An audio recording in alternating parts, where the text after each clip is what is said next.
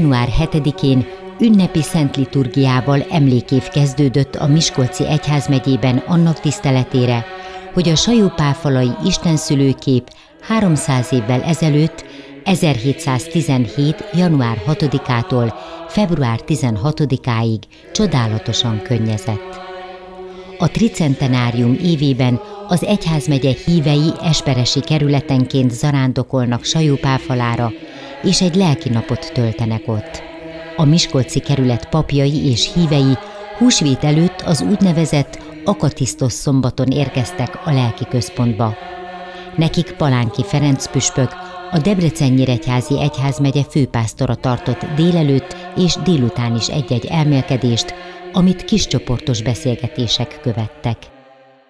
Palóc ember lévén különösen is tisztelem, tiszteljük a szűzanyát, és hát gondolom mindannyian, akik itt vagyunk, szívünk teli érzelmeivel köszöntjük őt ezen a mai napon is. Kérjük, hogy járjon közben értünk, segítsen bennünket, hogy találjunk rá a helyes útra, hogy a helyes úton járva megerősödjünk, megerősödjék a hitünk, az elköteleződésünk, az odaadottságunk, hogy egyre inkább megismerjük Jézus Krisztust, egyre inkább megismerjük a világ megváltóját, akire Mária egész életével rá akart mutatni. Az ő hivatása az volt, hogy rajta keresztül jöhessen a világra az Isten szeretete, az isteni megváltó. Egyik egyházatja ezt mondja, hogy ő volt a lépcső, akin keresztül a világ megváltója lejött erre a földre. És ő az, aki azt mondja Kánában a szolgáknak, hogy tegyetek meg mindent, amit ő mond nektek. Nekünk is ezt mondja, tegyünk meg mindent, amit az ő szent fia mond. Kicsoda nekünk Jézus Krisztus. Tegnap a Szent Misében, római katolikus lekcionárium szerint János evangéliumából, a hetedik fejezetből olvastuk azt a részt, amikor Jézus a zsidókkal vitatkozik, akik elfogultságukban, előítéleteik miatt nem ismerték föl a messiást, nem ismerték föl Jézusban a megváltót. És azt mondja, hogy engem az igaz Isten küldött, akit ti nem ismertek mennyire ismerjük mi az igaz Istent. Igaz Istent ismerünk-e? Amikor azt mondja Szent Pál apostol az Efezusiakhoz írt levélben, a 3.18-ban, hogy akkor majd megismeritek mi a szélesség és a hosszúság, a magasság és a mélység. És megismeritek Krisztus minden értelmet meghaladó szeretetét. És ez a minden értelmet meghaladó szeretet, ez a kereszt. Hogyan tekintünk mi a keresztre? Hogyan tekintünk mi a végtelen szeretet jelére, amelyet oly sokszor magunkra rajzolunk? Bitófát rajzolunk magunkra? Az a szenvedésnek a jele. Hát persze, hogy a szenvedés, hatalmas szenvedés, amit Jézus átélt, de nem azt mondta az utolsó vacsorán, hogy miattatok, hanem azt mondta, hogy értetek. Hogy nem azt mondta, hogy ti vagytok az okai az én szenvedéseimnek, ti okoztátok a bűneitekkel, hanem azt mondta, hogy most értetek adom. Ez az önként odaadott élet, a teljes élete, amit értünk odaadott, hát ez az igazi szeretet.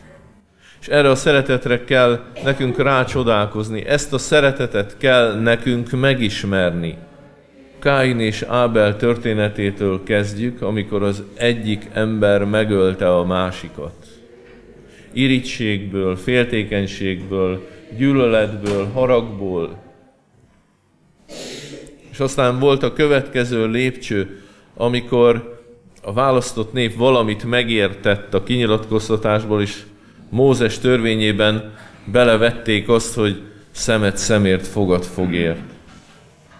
Hát a bosszúállás, hogy nekem rosszat tett valaki, akkor én is rosszat teszek neki. Na, majd megnézheti magát. Ha velem így bánt, akkor én is így bánok vele. Amilyen az adjon Isten, olyan a fogadj Isten. Szoktunk ilyeneket mondani. Aztán a következő lépcső, amikor olvassuk az Ószövetségi Szentírásban az átok zsoltárokat, amikor valaki Istent hívja segítségül, hogy az én ellenségemet, azt Uram, tessék jó megbüntetni. Tessék igazságot szolgáltatni nekem.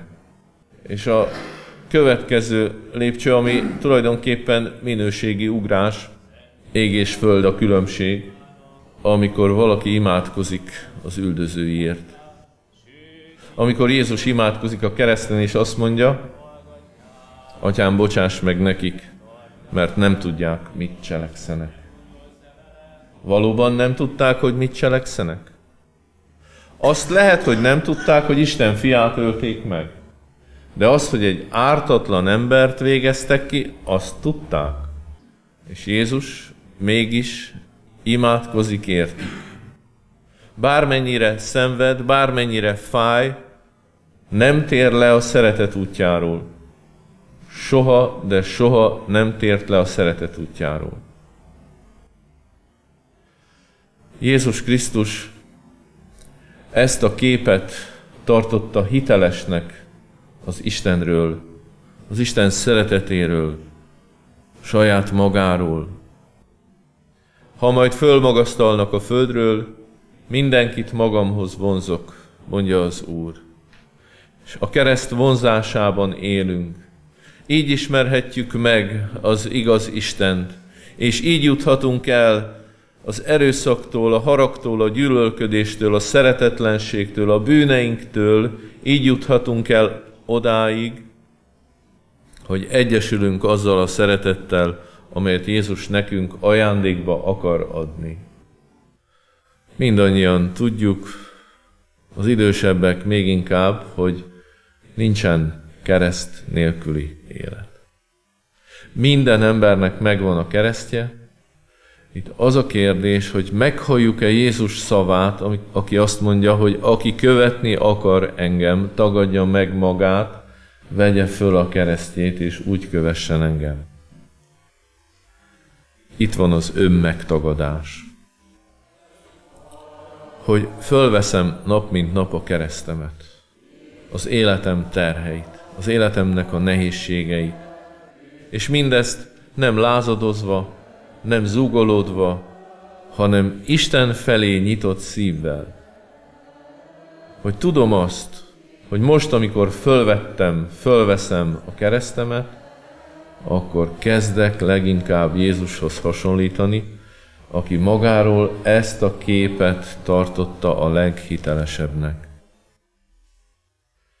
Ezért mutatta meg a tanítványoknak a színeváltozáskor az istenségét, hogy amikor látják őt keresztet hordozni, akkor sem veszítsék el a reménységüket, akkor se veszítsék el a hitüket.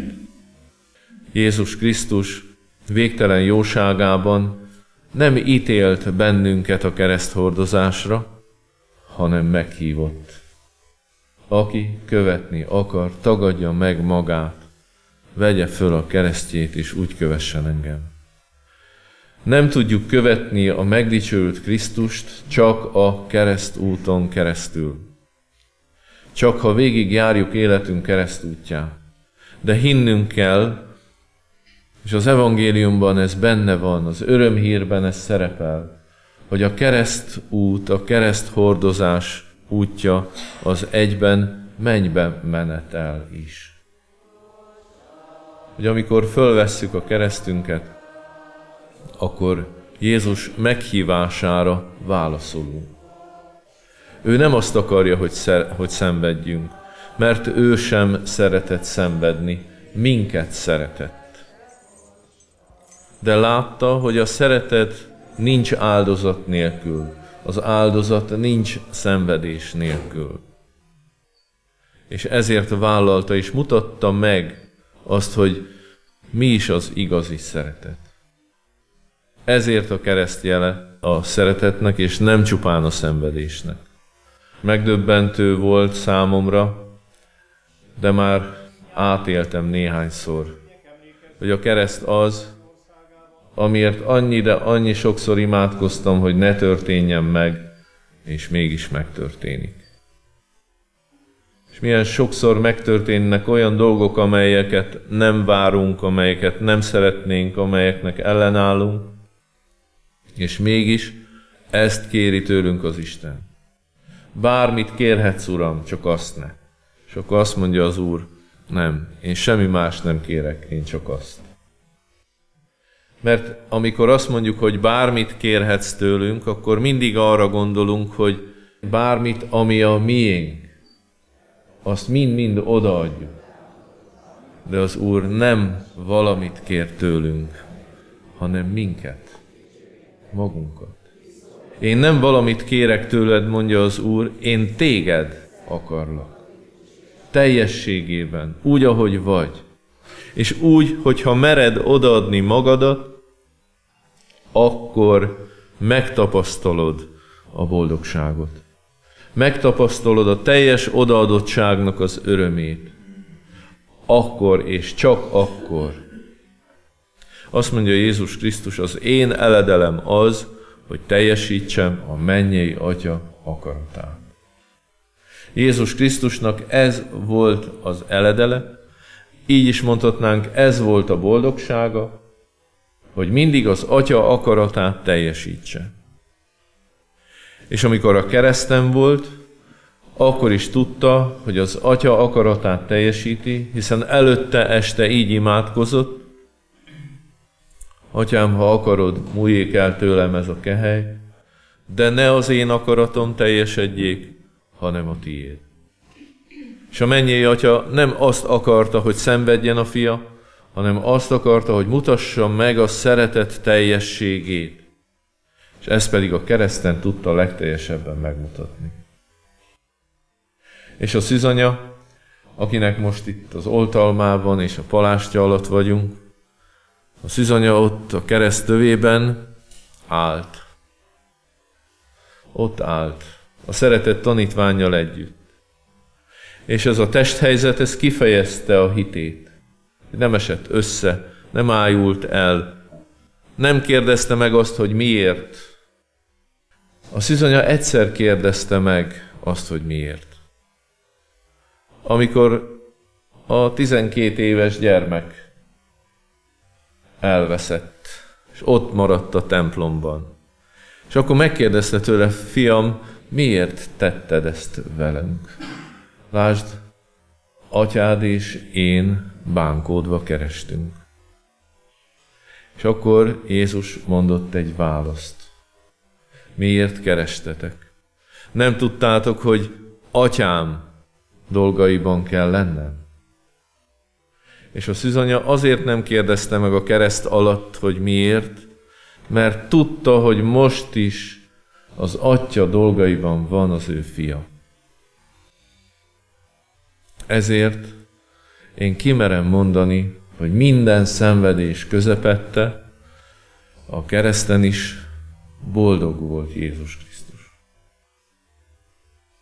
Tudunk-e boldogok lenni, amikor megfeszülünk egy-egy helyzetben, egy-egy kapcsolatban, egy-egy nehézségben, egy fájdalomban, egy szenvedésben.